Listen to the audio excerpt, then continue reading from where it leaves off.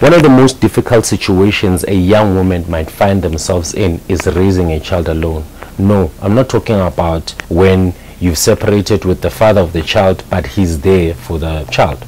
I'm talking about when a young woman is raising the child totally alone. Now, it is especially difficult whether it's a boy or a girl. But when it's a boy, some extra measures need to be taken. What you need to understand about males is that we learn from seeing other males and we are more likely to copy other males. It doesn't matter if they're close to us or they are distant. We that's what we do we just learn from other males hence you have the concept of a it's because it comes from a very serious part of our lives where we really admire people that live the lives that we aspire to so we copy them so now back to your child you might be missing an opportunity to start identifying men to have a relationship with men no not a romantic relationship i'm talking about colleagues i'm talking about friends i'm talking about I don't know, maybe even exes.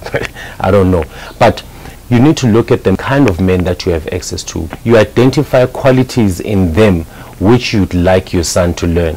So if you know, Uguti, there is a certain guy that you know who's really well behaved and is taking care of his family, or he, he also has a son.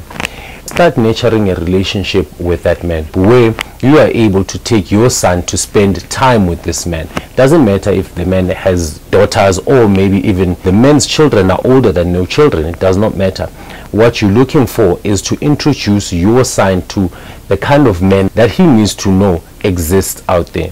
Now there's no telling what kind of relationship that your child will have with this man or what he is going to learn from that man. However it's more better than you trying to be a mother and a father to the child because when the child grows up no matter what you do no matter how you try and convince the son that his father is a deadbeat and he doesn't care about him. We men know that we need our fathers because it gives us a sense of identity. It doesn't matter if my father is a drunkard or whatever it is or left me but I will want to know that man. And if I do not have a positive foundation, I will most likely try and copy my father, even if I met him when I'm 18 or older. As much as you put effort in looking for your next boyfriend, it is equally important, if not more important, for you to look around for men that you have access to so that you can expose your son to those men.